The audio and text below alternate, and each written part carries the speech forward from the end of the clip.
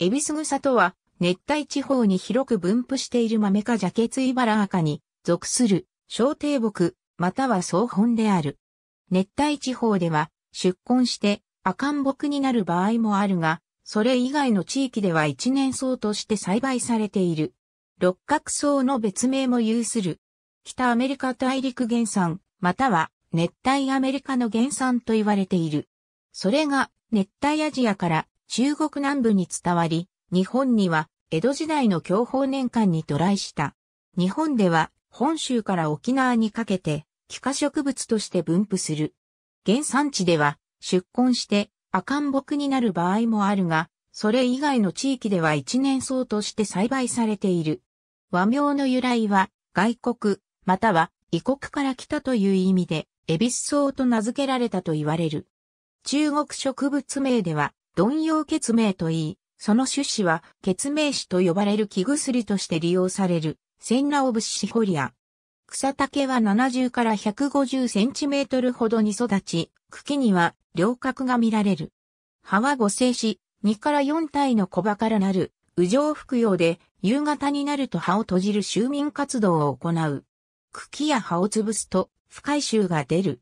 夏季は夏の7から8月頃で、溶液から欠を少し伸ばして、黄色い花を1輪か2輪ずつ下向きに咲かせる。いびつな五弁花で、10本あるおしべも、不揃いである。花子は、湾曲した六角中形の細長い鞘かがつき、秋の10月頃に褐色に色づく。鞘の中の種子は六角形で光沢がある。エビスグサの種子には黄色の色素として知られるアントラキノン類のエモジンが含有されている。他にも黄色の色素としてナフタレン誘導体であるトラクリソンも含有される。なお、様々な成分が含有されている中で、例えばエモジンのようなアントラキノン類を経口摂取した場合には、腸内細菌層の作用によってアンスロンに代謝され、それが穏やかな下剤として作用することが知られている。エビスグサの種子、または、センナトラの種子のいずれかを乾燥させた品を、血名詞と呼ぶ。生薬として流通している、血名詞は、ほとんどが栽培品である。なお、21世紀初頭時点において、血名詞の産地としては、中華人民共和国、北朝鮮、インド、大王国が知られる。エビスグサの場合、北半球では、春の4月頃に種子をまき、秋の10から11月頃に褐色に変色した鞘を摘み取り、鞘中の種子を集めて、天日干しして、血名子を製造する。血名子には、緩やかに便通を良くする、肝、下作用がある。また、血名子は、目の充血を取る作用も見られると言われてきた。他に、利尿作用も求められるという。漢方では3世紀頃に編纂された召喚論や近畿要略には見られないが、唐以降に利用された。なお、血名詞が配合された漢方法剤としては、荒い漢名目産が知られる。血名詞は、ハブ茶の通称で知られている。もっとも、本来のハブ茶というものは、同族の植物であるハブ草の種子で、膀胱南と呼ばれるものを言って、その成分を水で抽出したものを指した。しかし、ハブ草の種子は収穫量が悪いために、エビスグサの種子を代用品としたのが、そのままハブ茶として残った形である。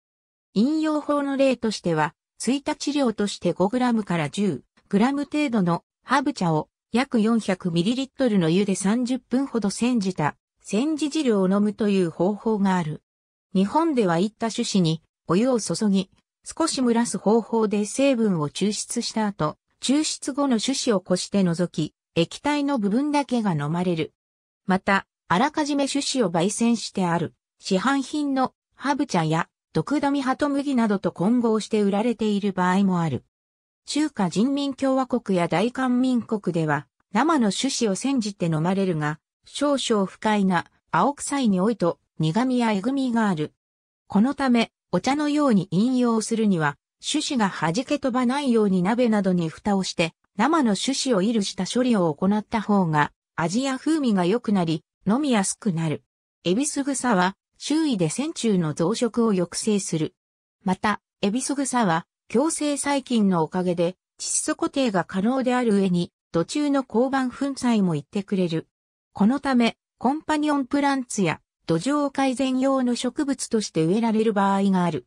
エビス草の栽培は手間がかからず非常に容易である。主に未生で栽培され、春に種をまく。巻き期は4の5月とされているが、土の温度が低いと発芽しづらいので、早い時期に産種する場合は、土の温度管理を行う必要がある。日当たりの良い場所を好むが、移植を嫌う性質があるため、適当な土地に種子を直巻きする。土は軽く耕して、一箇所に3から5粒ずつ種子を巻き、芽が出たら1から2本残して間引きする。施肥はほとんど必要とせず、よほど痩せた土地でもない限りは、肥料を与えなくとも生育する。ただし、クロンキスト体系では、ジャケツイバラ化とする。これは言うまでもないものの、これ以外の成分もエビス草の種子には含有されている。アンスロンは、アントロンとカタカナ転記される場合もある。なお、アンスロンが血明子に関係した生理活性物質のすべてではない。ここに挙げたのは、あくまで成分の例に過ぎず、血明子の作用として、有名な穏やかな下剤としての作用を説明するために、これを取り上げたに過ぎない。より詳しくは、生薬学や天然物科学などの教科書を参照のこと。エビス草だけが血明子の起源植物ではない点に注意。米倉浩二、梶田正。